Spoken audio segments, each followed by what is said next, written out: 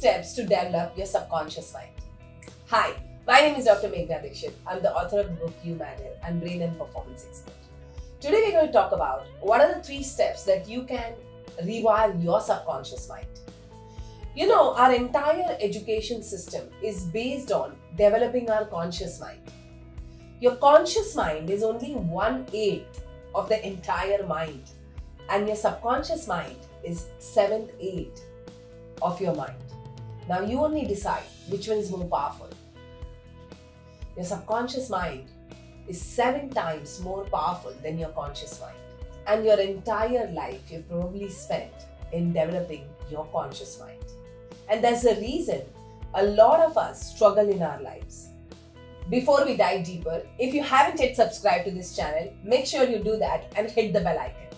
Now, if you're ready, type ready in the comment section so that we straight dive into the three steps to rewire your subconscious mind. The first step. The first step is so critical, so important. That is understanding do you have any sort of a mixed associations or cross purposes for any of your desire? What is a mixed association or a cross purpose? If a part of you wants to achieve or wants that desire very badly, but there's a part of you which is constantly putting up the resistance when you take action. Your inertia, laziness, procrastination, all of these are the outcomes of this mixed association. There's a part of you which truly, consciously, or logically believes that yes, you can do it and you must do it. But there's a huge part of you which says that, you know what, you can't do it or it's not possible you have never done it or you know you're, you're just like your father you're like your mother you're you're lazy you're this and that and there are so many mixed associations attached to the desires that you have for yourself.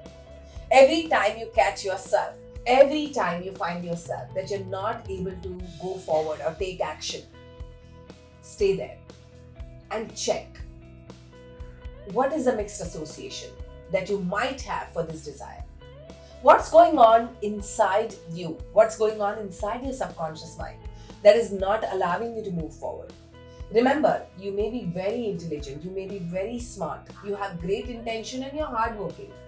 And you set all the goals, but if you're not able to achieve them, then there is definite, definite reason that you have within yourself.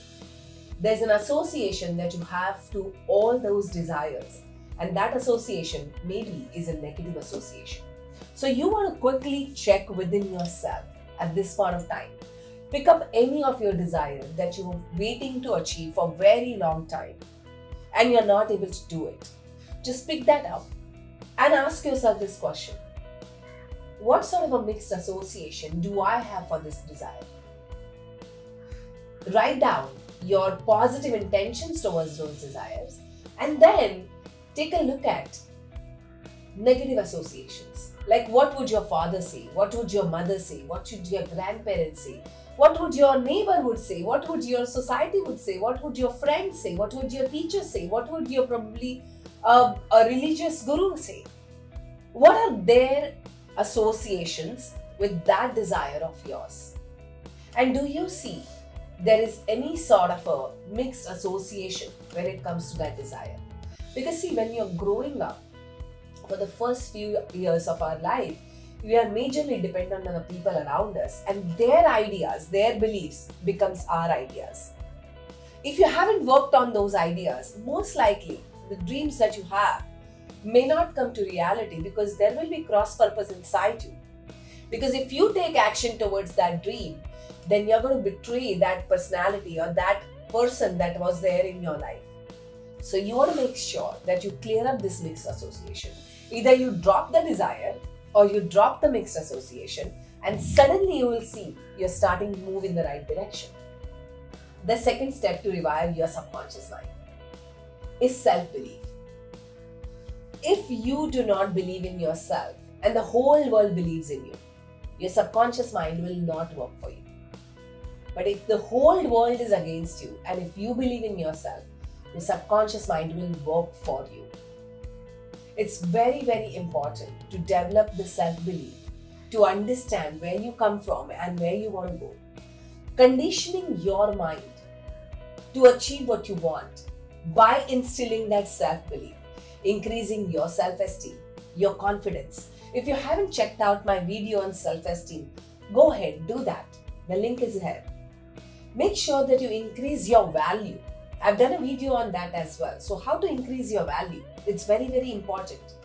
How do you start becoming more and more confident in your life? How do you overcome your all the battle that goes on inside your brain that stops you from believing in yourself? How do you expand your self belief? It's very, very important that if you want to move forward, rewiring your subconscious mind to achieve your best life, then you start believing in yourself. Let the world say whatever they have to say. The third step to rewire your subconscious mind to achieve your success. And this step is my most favorite one. You know, if you want to create a great life for yourself, it stands on the three pillars. The first pillar is clarity of intention.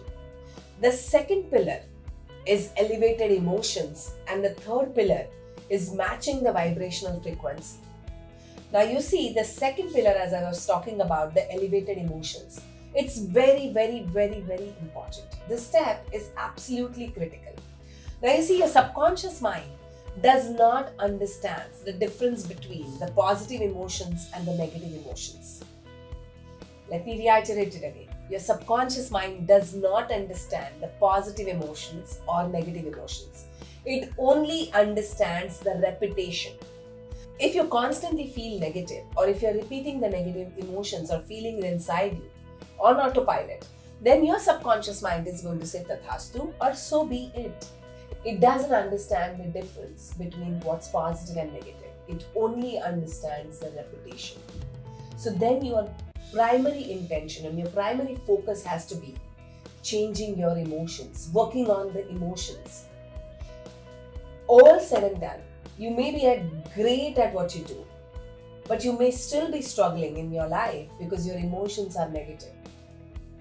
How do you start building positive emotions inside you? A very simple step that you can do is every single day, start writing the gratitude journal what good things are happening in your life already. Now, some of you might say that I don't know, there is nothing happening good in my life. That's not possible. If you're watching this video, that means you have availability of the internet. Mostly you have a laptop or a smartphone. You have a house, you have clothes, you have food to eat. You, you wake up every single day morning. Imagine you're breathing every single day. And every single moment, you don't have to think about it. Small little things it doesn't have to be very big, but small little things you can keep writing in your gratitude journal. The moment you start focusing on what you're grateful for, what you already have, you'll suddenly see the emotion shifting in your space. The second thing that you can do for yourself is for every small move that you make, reward yourself. Build that enthusiasm and bring the emotion of celebration it doesn't have to be very big. It can be very simple, very small. But it has to be enthusiasm, excitement, and celebration. The moment you bring in all of these emotions, even if it's at the smaller level, it's all right. And you can then you'll see the you know the ball rolling because you will find more ways to celebrate you will find more ways to be excited and enthusiastic and you will find more ways to be grateful for so these three steps are extremely critical if you want to revive your subconscious mind. So these are my three steps to revive your subconscious mind. If you like this video, give me a like, share it with at least 10 people and make sure that you put in the comment section which is your most favorite step. Are you going to work on your mixed associations? Are you going to increase your self-belief or you're going to increase your emotions, elevation in your emotions? See you next time. Bye-bye.